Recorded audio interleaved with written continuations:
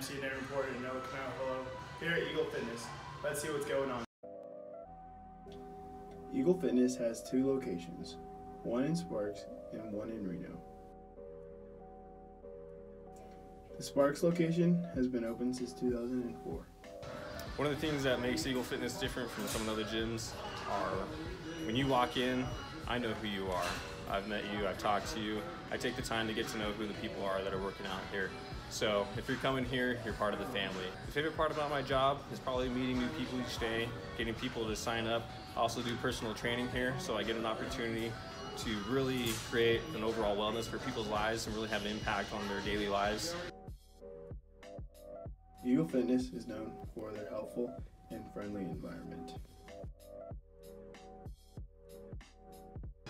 What I like about this gym is that it's like a family environment. Everybody is nice. Um, if you're struggling with a lift, you can ask someone to spot you. I mean, everybody is just so kind and uh, it's you. It's like a free-spirited gym. Like you could get gains here, you know. The environment is that you don't get judged here.